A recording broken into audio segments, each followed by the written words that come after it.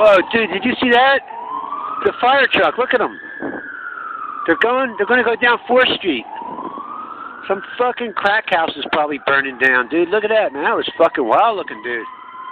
Holy fuck. I'm gonna go down here to my car. Jam out a little bit. Holy cow, that scared the crap out of me, dude. Holy God.